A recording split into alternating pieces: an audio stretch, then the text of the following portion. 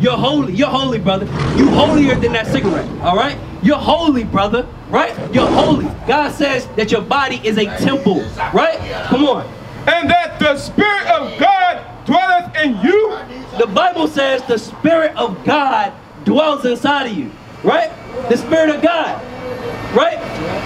The Spirit of God is supposed to be inside of you, brother. But when you smoke cigarettes, right, you, you, you, you the, the Spirit can't dwell there. Right? You defiling your temple. It want to leave. Right? Do you want the Spirit of God to leave you? Do you want that to happen? No, you don't want the Spirit of God to leave you, bruh. Right? You don't want, when you smoke cigarettes, it's destroying your body, it's destroying your temple. Right. You need to take care of that thing. The Most High God gave you a body. You, and you can walk, you understand, you can breathe, you ain't on crutches, but you polluting that thing, right? You you you putting uh uh uh uh bad bad resources into yourself, right? You destroying that thing, man. That's like a smack in the face. Somebody gave you something precious, right? But you treating it like it ain't nothing.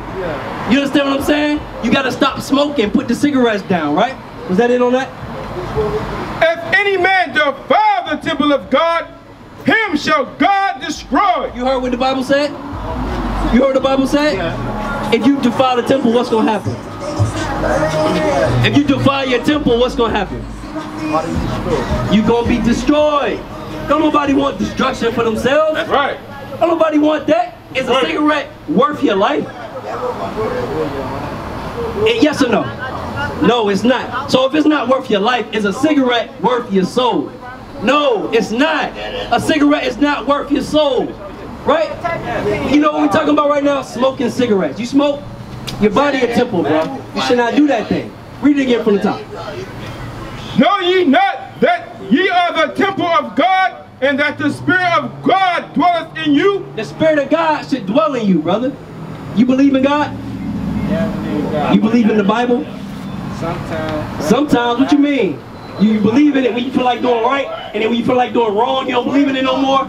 Is that what that mean? All right, what it mean? mean, like- Like sometimes, sometimes stuff be hard. Like the stuff you go through, and then when you be trying. Uh, Matthew 5:48. Read that, or uh, say it again.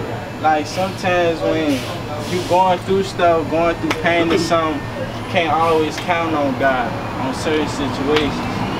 Why not? Cause of what you go through, and like You can always count on God, That's right. You can always count you on can- God, you man. can pray, you can pray, you can pray. You can pray, but I'm gonna teach you something, man. I'm gonna, you got you got some time? You do. All right. Oh, oh, we gonna we gonna build with you, right? Because we out here hoping that all these men become holy Right. and keep God's law. Right. Do the will of God. All right. Right. That's our hope for everybody that's out here, right? Right. Read what you got. It's the book of Matthew, chapter 5, verse 48. Bring it out. Be ye therefore perfect. What's the Bible say? Be ye therefore perfect. The Bible says be perfect. Be perfect, right? What makes us perfect? God's laws. All right? God's laws make us perfect, right? That's right. You know how you're perfect? You're perfect when you recognize, right, that you've done something wrong, right? And, and you and you pray to God for forgiveness for that thing, right? And then you don't go back and keep doing the same thing. That makes you perfect. That's repentance, according to the Bible. Making a what? A change. That's what we need to do, right? That makes you perfect. Perfect don't mean you'll never make no mistakes. You understand what I'm saying?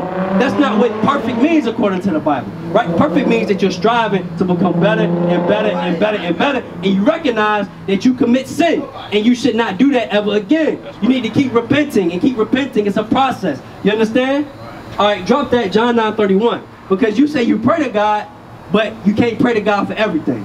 That's what you said, right? Hey. Rephrase it for me. You said it. Say it. Say it for me again. Say what you got. Like you can't always count. Well, I well I believe in God, but I can't count on him for everything. We about to give you the cheat code right here, man. So you, so we about to give you the cheat code, all right? We about to put you on, right? We about to help you with this Bible. You got a Bible, right? Yeah. So we about to help you with this Bible, all right? Read what you got. This is the book of John, chapter 9, verse 31. Come on. Now we know that God heareth not sinners. No, the Bible does hear sinners. Now we know that God heareth not sinners. No, the Bible hear everybody that pray to him for all their problems. Every time you got a problem, right? What's your name? OJ. OJ. Every time you got a, if, if, if as long as I'm OJ, the Lord gonna listen to me. That's how we be thinking, right? Read what you got. Now we know that God heareth not sinners. The Bible say he don't hear sinners. He don't hear sinners. He don't hear nobody that's breaking God's laws. You don't listen to that. If you breaking God's laws, you're not trying to get yourself right. You just out here. You understand? You just under God's grace, right? You just out here living until He put you to death.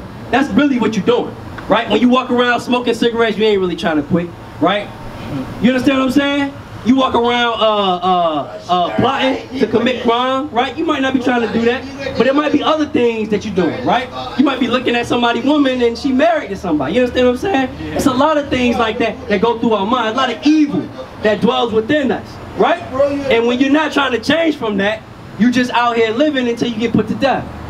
You, you understand what I'm saying?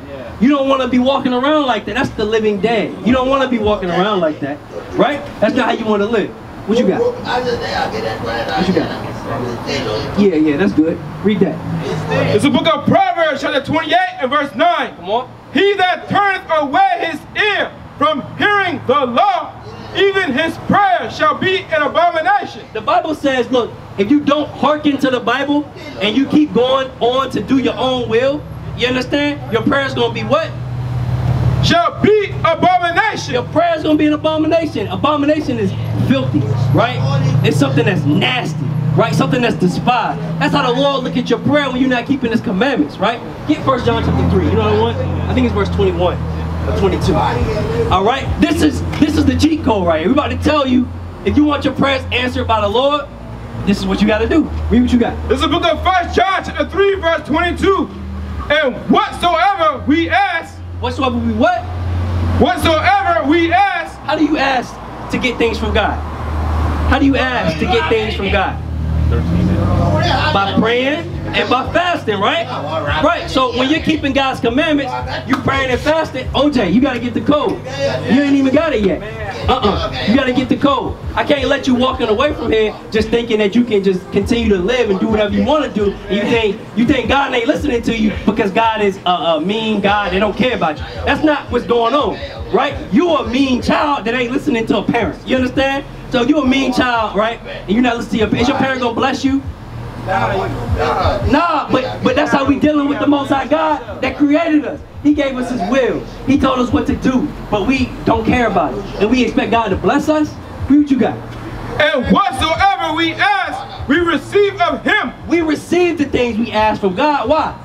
The Bible says this. Why do we receive those things? Come on. Because we keep his commandments. Because what? We keep his commandments. Right. So a prerequisite to getting your prayers right Answer from God is to do what? Is to keep God's commandments. That's right.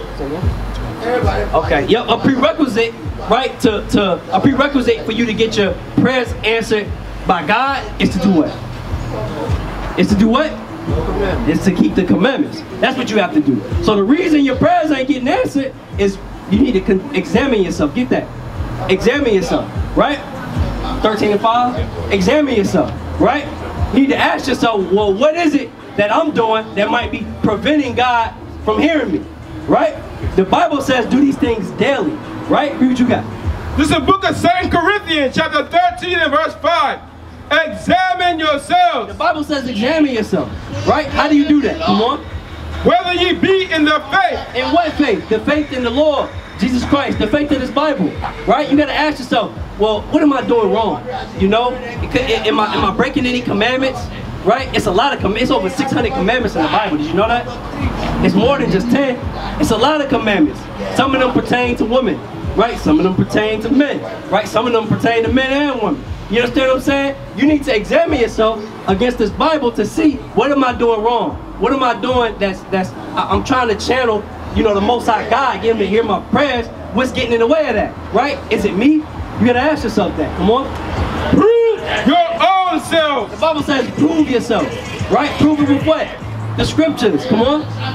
Know ye not your own selves? How that Jesus Christ is in you? You need to know, right, that the Spirit of the Lord is in you. You need to know that. So the same way Christ walked, you gotta walk. The same way he taught, you gotta talk. You understand? The same things he cared about, the same things he hated, right? Those are things you gotta hate. Those are things you gotta detest, right? That's what makes Jesus Christ dwell in you. Come on. Except ye be reprobate. You don't want to be reprobate. It was in Psalm chapter 1 verse 5. You don't want to be reprobate. You understand? You don't want to be reprobate. Reprobate means to be just void. Just void of, of being able to make decisions between right and wrong. Now you don't know what's wrong and what's right. Everybody just do what they want to do. Yeah, do what feel good. Do as thou will. Right? It's all of these different uh, thought processes out there for us. Right? That's been put out here, right, by really our enemies. Have allowed these things to be on our TVs, to be in our media, right? To be in our households, to be in our homes, to be on social media. All these are, are all these uh, vices are against you, and they keep you into captivity. Read on. It's the book of Wisdom of Solomon, chapter 1 and verse 5. For the Holy Spirit of discipline will flee deceit. The Bible says if you if, if you are a deceitful person, right, and you lack discipline, the Holy Spirit will leave you. That's what the Bible says. Come on. And remove from thoughts that are without understanding. Come on.